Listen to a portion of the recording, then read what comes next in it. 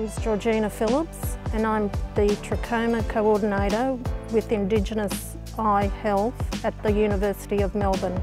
This week in Areyonga we've come out with the Indigenous hip hop dancers, two artists and myself to promote awareness of trachoma including how to get rid of trachoma. Matt Adnate, I grew up in Melbourne, Australia and I was born in Melbourne, Australia as well very, very special for me to come out here and to be working on for trachoma, which is, is such a, a, very difficult problem that, you know, to be painting artwork like this and to be bringing awareness to, this, to these issues is absolutely, you know, super, super cool. Trachoma is an eye disease in some communities within Australia.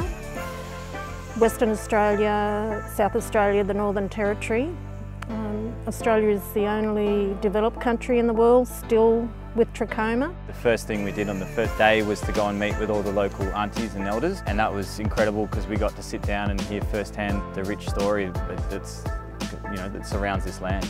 So we've incorporated that into the mural behind us. I painted the two portraits up on the left here. One of the kids looking straight back at you and then the other kid which is sort of immersed in the story, immersed in the dreaming. What I think is incredibly special is that we've got you know, this art form that's been around for longer than I can ever imagine, for 60,000 years, with the most contemporary art form that's been birthed in the last you know, few decades, you know, graffiti and street art, and it's this absolute synergy coming together is, is 100% magical. The week was amazing and we were so happy to be there. The community thought the mural was fantastic. None of us have ever painted in a spot that's, that's this incredible and this magical and you look around and we're surrounded by these mountains, these red mountains. I've never experienced anything like it. I'm lost for words on how beautiful it is.